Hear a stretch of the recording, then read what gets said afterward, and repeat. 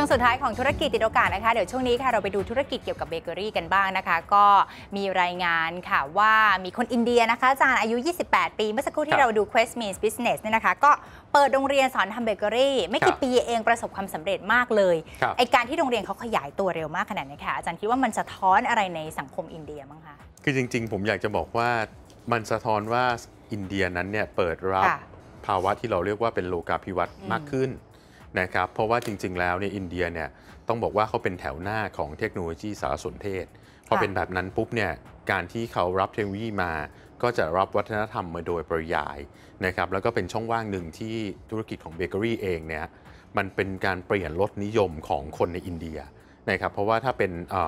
อ่ออาหารประเภทแป้งของอินเดียนั้นเนี่ยก็จะเป็นส่วนใหญ่มักจะเป็นแป้งจืดค่ะ นะครับจะไม่ออกไปในกลุ่มของอาหารหวาน เป็นยังไงคะอาจารย์แป้งจืด แป้งจืดก็อยู่ในกลุ่มของพวกโรตีของนานอะไรประมาณนั้นนะครับเป็นแป้งจืดแล้วส่วนใหญ่เขากินเป็นอะเป็น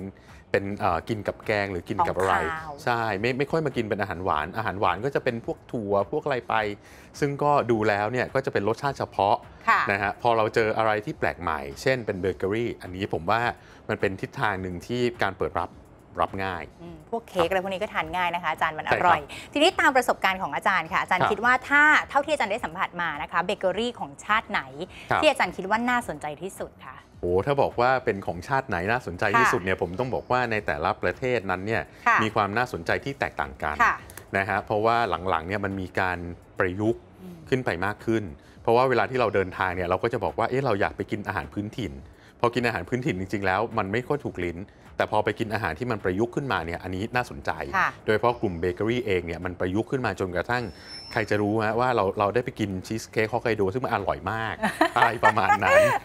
ครับค่ะ อันนี้คือชีสเค้กฮอกไกโดอันนี้มันมีการผสมผสานขถูองกครับของท้องถิ่นเข้าไปใช่ไหมคะใช่อาคจารับรย์ก็คือใช้นมฮอกไกโดผสมกับเรื่องของแป้งเบเกอรี่ต่าง ๆ ผมถึงบอกว่าไอ้ตอนเนี้ยมันเป็นกระแสโลกาภิวัตน์ใส่เข้าไป ค่ะครับเพราะฉะนั้นรสนิยมเนี่ยมันก็เลียนแบบกันทั่วโลกไปเรื่อยๆอย่างเงี้ยเหรอถูคะกอาครัจาบรย์ก็คือผมผมย้อนกลับไปเนี่ยในสมัยที่เอ่อมันจะมีช่วงหนึ่งที่คนไปต่อแถวกันแถวสยามค่ะนะฮะเพื่อไปซื้อ Mexican bun นะครับ ตอนนั้นราคามันก็แพงมากอืมตอนนี้ราคาเหลือไม่กี่สิบบาทนะครับค่ะหรือ ปรากฏการณ์ Krispy Kreme ก็เลียนแบบกันมาค่ะนะฮะต่อแถวกันยาวมากเพื่อไปซื้อ Krispy Kreme เป็นกล่องๆ ถือกันหลายหลายโหลเลยนะฮะ เอาไปแจกใครก็ไม่ทราบนะคะจตอนรินั้งนๆจริงๆอันนี้คือเราห่วงใยเพื่อนนะอยากให้เพื่อนทานแต่อาจจะมีการขายต่อบ้างค่ะนะครับอาจารย์คะพูดถึงว่าอาจารย์ไหนๆก็เข้ามาที่เมืองไทยที่คนไปต่อเยอะแล้วเนี่ยนะครัคะบก็ในเรื่องของขนมเนี่ยอาจารย์คิดว่าในช่วง 5-10 ปีที่ผ่านมาค่ะตลาดเบเกอรี่บ้านเรามีการพัฒนาไปยังไงบ้างคะจริง ๆ ต้องบอกว่ามันมีความน่าสนใจอยู่ค่ะนะฮะเพราะว่า ถ้าเราบอกว่ามันไม่พัฒนาเลยเนี่ยอืมผมบอกว่าจริงๆเนี่ยตลาดเบเกอรี่มันพัฒนามาพักใหญ่ ๆ แล้วค่ะนะฮะโดยเฉพาะเมื่อเอาอุตสาหกรรมเข้ามานะครับเมื่ออุตสาหกรรมเข้ามานั้นน่ะมันจะมีเบเกอรี่สองประเภทก็คือเบเกอรี่ที่เป็นอุตสาหกรรมจริงๆเนี่ยค่ะเข้าตลาดหลักทรัพย์ด้วย นะครับอ๋อในกลุ่มของฟาร์มเฮาส์ทั้งหลายก็จะค่ะเป็นกลุ่มนั้นไปนะครับและกลุ่ม high-end ก็จะมีเข้าตลาดหลักทรัพย์อีก ที่เป็นในกลุ่มของ AU หรือ After You นั่นเองนะฮะเพราะฉะนั้นเรากำลังจะบอกว่าธุรกิจเบเกอรี่นั้นเนี่ยมันมันเปลี่ยนค่อนข้างไวค่ะนะครับแล้วก็ความน่าสนใจของมันก็คือว่ามันใส่ความประยุกต์นะฮะลักษณะของความเป็นเอกลักษณ์ของตัวเบเกอรี่แต่ละชิ้น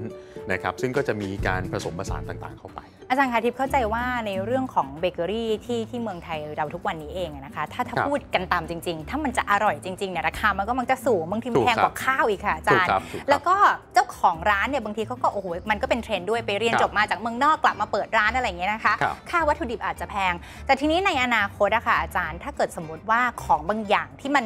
ผลิตเองในประเทศไทยได้เนี่ยอาจารย์คิดว่าราคาเหล่านี้มันจะถูกลงได้ไหม แล้วก็เทคโนโลยีเหล่านี้มันจะกระจายไปตามเอ่อ ต่างจังหวัดได้ได้มากน้อยแค่ไหนอะครับ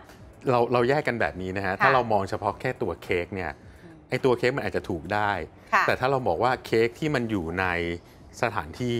ผมต้องบอกว่าเค้กที่อยู่ในสถานที่นั้น คนไม่ได้ไปกินตัวเค้กอย่างเดียว คนไปดื่มด่ำบรรยากาศ ไปถ่ายรูป ไปถ่ายรูปหรือไปแฮงเอาท์กับเพื่อนนะฮะเพราะฉะนั้นในกรณีแบบนี้เนี่ยทำไม after you ถึงคนต่อแถว มาแต่มันต่อแถวก็บางทีก็เวอร์เกินนะคะอาจารย์นานมากนั่นเลนั่ยนคือปัญหาฮะปัญหาก็คือว่าอ้าวก็เราไม่ได้มากินเค้กอย่างเดียวฮะค่ะเค้กแบบเดียวกันเรากินที่อื่นก็ได้ แต่นี่เรากำลังจะบอกว่าเราไปแฮงเอาท์กับเพื่อน เราไปกินบรรยากาศ เราไปดูบริการเราไปเราไปเอ่อบริโภคอะไรที่มันเหนือกว่าความเป็นเบเกอรี่อย่างเดียว ซึ่งต้องบอกว่าทิศทางของธุรกิจนะฮะมันจะผสมผสานเรื่องแบบนี้เข้าไปเยอะขึ้น ค่ะนะครับอาจารย์คะงั้นอย่างนี้เนี่ยหมายความว่าถ้าเกิดสมมติโดยโดยปกติที่อาจารย์บอกว่าเขาไปดื่มด่ำบรรยากาศอย่างเงี้ยนะคะ คนก็จะถ่ายรูป up ลงโซเชียลครับอันนี้มันบอกสถานะอะไรของคนไปหรือเปล่าคะเพราะว่าราคามันไม่ได้ถูกนะคะอาจารย์เอ่อส่วนหนึ่งเขาอาจจะแชร์กันก็ได้นะครับไม่ไม่ได้กินคนเดียวค่ะใช่ไหมครับเพราะว่าเวลากินขนมเนี่ยกินคนเดียวไม่อร่อยอยู่แล้วเออนะฮะก็อาจจะไปกันหลายคนนะครับเรื่องสถานะอาจจะอาจจะไม่ไม่สะท้อนเป็นเป็นจริงเป็นจังนักค่ะแต่สิ่งที่ผมกำลังจะตั้งข้อสังเกตคืออย่างนี้ฮะว่าเบเกอรี่นั้นเนี่ยความน่าสนใจของมันก็คือว่า ถ้ามันขายแค่เบเกอรี่ค่ะนะครับราคามันนิดเดียวฮะแต่ถ้ามันขายเบเกอรี่พร้อม story ก็คือพร้อมเรื่องราวหลังเบเกอรี่นั้นเนี่ยราคามันจะขึ้นไปอีก ถ้าเราไปดูผลิตภัณฑ์ใหม่เช่นค่ะเอ่อ toast ตัวใหม่ฮะแต่เป็น toast ข้าวเหนียวทุเรียน นะครับที่ไปขายในร้านอาหารโอ้คนต่อแถวกันอีกแล้วมีคุณสทิพย์ตอรี่มีฮะมี storyและแถม in trend มากเลยว่าคนค่ะอยากกินทุเรียน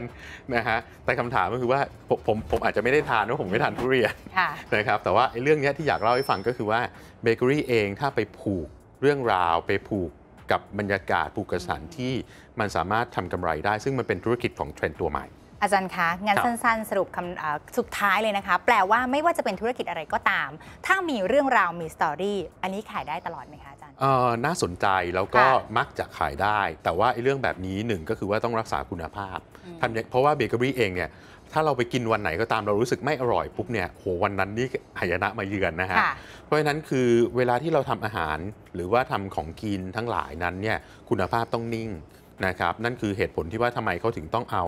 กลไกที่ช่างตวงวัดเข้าไป หรือว่าค่ะกลไกที่รักษาคุณภาพค่ะครับผมก็นะคะคุณภาพเรื่องราวแล้วก็บรรยากาศอันครันี้บผมน่าจะช่วยได้ในการทำธุรกิจ วันนี้ต้องขอขอบพระคุณอาจารย์ค่ะครับยินดีครับค่ะผู้ช่วยศาสตราจารย์ ดร ประชาคุณธรรมดีนะคะ อาจารย์ประจำคณะเศรษฐศาสตร์ มหาวิทยาลัยธรรมศาสตร์ค่ะ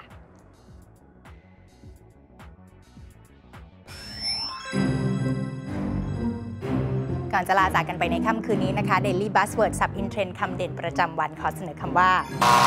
travesty of civilized behavior ความประพฤติ ที่ไม่ civilized นะคะ ก็มาจากการที่ CEO ของ Qatar Airways ค่ะ บอกว่าการตัดสัมพันธ์ทางการทูตของบรรดาชาติอาหรับกับกาตาร์ที่เกิดขึ้นนั้นนะคะ แล้วก็รวมไปถึงการสั่งปิดสำนักงานที่เกี่ยวกับสนามบิน หรือว่าการปิดน่านฟ้าต่างๆ นั้น ถือว่าเป็นการกระทำที่ไม่ civilized ค่ะ ก็หวังว่ากาตาร์นะคะจะมีทางออกในเรื่องนี้เร็วๆนี้ค่ะ วันนี้หมดเวลาของรายการธุรกิจติดโอกาสนะคะดิฉันทิพากรสุภลักษณ์เจคับเซนและทีมงานต้องลาไปก่อนแต่ว่าเช่นเคยฝากหน้า Facebook เอาไว้นะคะ www.facebook.com/ Spring News superprime time คุณผู้ชมไปติดตาม Daily Buzzword ย้อนหลังได้ที่นั่น รวมทั้งคอลัมน์อื่นๆ แล้วก็เนื้อหาต่างๆ ที่เรานำมาแปลฝากกันค่ะ วันนี้ลาไปก่อนนะคะ พบกันใหม่พรุ่งนี้ สวัสดีค่ะ